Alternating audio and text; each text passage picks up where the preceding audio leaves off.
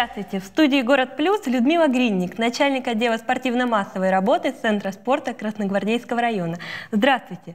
25 января ваш центр проводит большой юношеский забег «Дорога жизни». Расскажите немного о нем.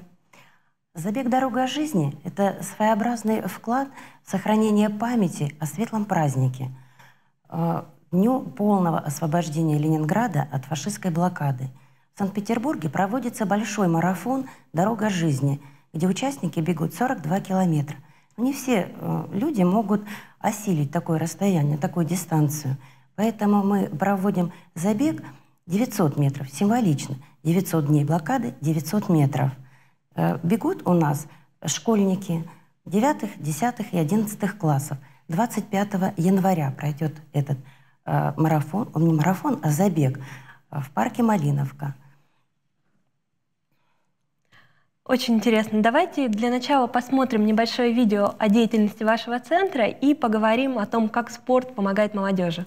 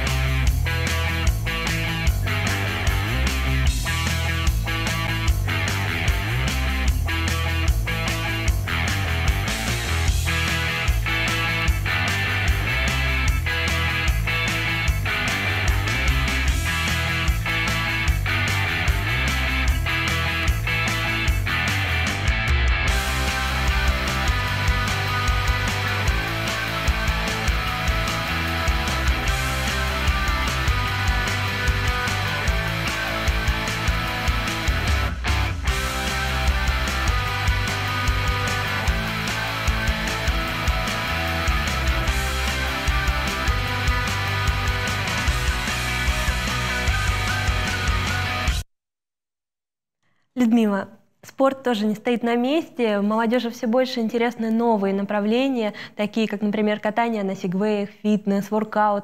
Как вам удается следовать трендам? Безусловно, у нас в центре э, актуализированы все секции, э, физкультурные мероприятия э, в соответствии с запросами и интересами населения. Так, дамы, девушки, они предпочитают фитнес. Пожалуйста, у нас в центре э, общефизическая подготовка, очень много групп общефизической подготовки с элементами йоги, стретчинг, пилатес. Молодежь любит воркаут, у нас есть эти секции, э, и воркаут, и кроссфит. Летом проводятся занятия на уличной открытой площадке специализированной э, BMX. В зимний период, естественно, актуальны сейчас катки. У нас в районе заливаются 4 катка по адресам Металлистов 66, Индустриальный проспект 26-24, э, Блюхера 38 и э, в новом районе, Новая Охта, на Корнея Чуковского, дом 3. Эти катки абсолютно доступны для всех желающих. На катках мы проводим не только мастер-классы по фигурному катанию, где инструкторы обучают людей, помогают им. Кому-то первый раз встать на коньки, э, кого-то обучить некоторым э, базовым элементам фигурного катания. Также у нас на катках проходят еженедельные, каждую субботу, каждое воскресенье. На каждом из этих катков у нас проходят э, турниры выходного дня по хоккею. Тоже пользуются огромной популярностью. В этих турнирах могут принимать участие жители все – любого возраста. В одной команде может оказаться и папа, и сын. Команды формируются непосредственно на месте. Пришли, собрали команду, принимаем участие. Действительно, огромной популярностью пользуются. Люди с удовольствием идут. Так, ну, смотрите, даже э, хоккей мы стараемся вот как-то вот создать изюминку. 3 э, февраля у нас на катке на Корнея Чуковского, дом 3, пройдет турнир по хоккею в валенках. А уже в это воскресенье, 20 э, января, на индустриальном 26-24 будет сюрприз для наших жителей, потому что пройдет звездный мастер-класс от Кирилла Сафронова, где жители ну, посмотрят, как можно ловко владеть шайбой, э, там, передачи, броски, все это они смогут не просто посмотреть, как это делают специалисты, но мастера, чемпионы, но и сами это все попробовать под руководством. Очень здорово. К вам часто приезжают гости, именно именитые тренеры, фигуристы? Не так часто, но бывает. В последнее время все больше и больше. Это радует. Здорово. Спорт это, безусловно, очень интересно и нужно, но как привить молодежи в целом здоровый образ жизни? Как привить а, привычку здорового питания, режима, соблюдения? Вот что в этом направлении делается? Ну вот смотрите, допустим, если взять какие-то разовые акции, а, ну вот конфеты на сигареты поменять, это все не дает должного результата, потому что, допустим, наше учреждение, мы ориентированы на пролонгированный пиар, э, на долгосрочное дружеское сотрудничество с населением. А как это сделать? Люди понимать, понимают, что здоровый образ жизни – это хорошо и надо. Но как их заинтересовать? Мы проводим мероприятия Стараемся каждое мероприятие наше сделать настолько интересным, чтобы человек просто захотел прийти, следовать. Вот возьмем на примере. Проводим там веселые старты с элементами ориентирования в парке Малиновка. Предлагаем жителям всем, кто гуляет в парке, от мала до велика, примите участие. Некоторые пугаются, говорят, да ну вы что, ориентирование, я даже компасом пользоваться не умею. Мы им предлагаем настолько простые дистанции, э, вместо на контрольных пунктах буквы на, на деревьях. Из этих букв, если пройти дистанцию правильно, люди составят слово. Им это уже интересно, их это затягивает. Они приходят с дистанции довольны с маленькими детьми, со взрослыми, просто взрослые пошли, просто дети, и ориентировщики, и просто жители, которые понятия не имеют, что такое ориентирование, но они принимают в этом участие, заинтересовываются – приходят и говорят, а где мы можем вас в следующий раз увидеть? Мы говорим, прекрасно. В следующее воскресенье вы можете снова к нам прийти. Но вот инструктор, вы можете записаться и абсолютно бесплатно ходить на занятия, и люди идут. И вот за счет того, что они заинтересовались, они, мы их просто подтолкнули сделать этот первый шаг, мы, скажем так, уговорили их принять участие, и получилось так, что человек заинтересовался, и он потом начинает ходить на занятия в секции бесплатно. Потом уже, скажем так, сначала интересно, потом привыкаешь, а потом уже у человека появляется потребность в занятиях, в регулярных занятиях. Ну вот Таким способом, хитростью, скажем так, людей мы привлекаем. Ну, ваша хитрость во благо. А проводятся да. ли какие-то, возможно, лекции, либо общение с диетологами, вот со специалистами разных областей? Э, ну, с диетологами, с питанием нет. У нас угу. такого в центре нету.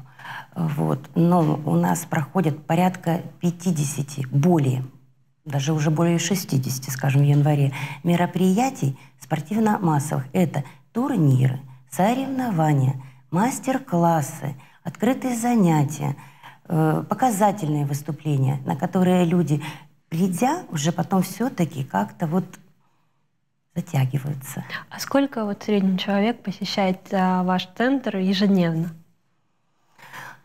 Ну, кажется, интересный вопрос. Ну, примерно. Не считала. Много. У нас очень много людей занимаются. Смотрите, у нас более 30 площадок. Угу. Э, шесть спортивных комплексов, мероприятия, отделы, которые проводят спортивно-массовые мероприятия. Ну, ежедневно более, я думаю, тысячи-двух тысяч точно, ежедневно. Тысяча-двух тысяч. Это только представители Красногвардейского района или ваш центр открыт для всего Петербурга? Ну, в принципе, мы открыты для всех. Вот, честно говоря, мы не проверяем по паспорту, прописан или нет. Это если мы принимаем участие в городских мероприятиях, там требуются непосредственно жители Красногвардейского района, и мы уже там команды собираем только из жителей Красногвардейского района. А для занятий у нас открыты все. Главное, чтобы не было противопоказаний от врача по здоровью. А, Людмила, расскажите, пожалуйста, вот столько интересных событий, что нас ждет вот уже в ближайшее время, что может посетить каждый там петербуржец, житель вашего района? Ну, в ближайшее время, как я сказала, самые такие э, 3 января мастер-класс звездный.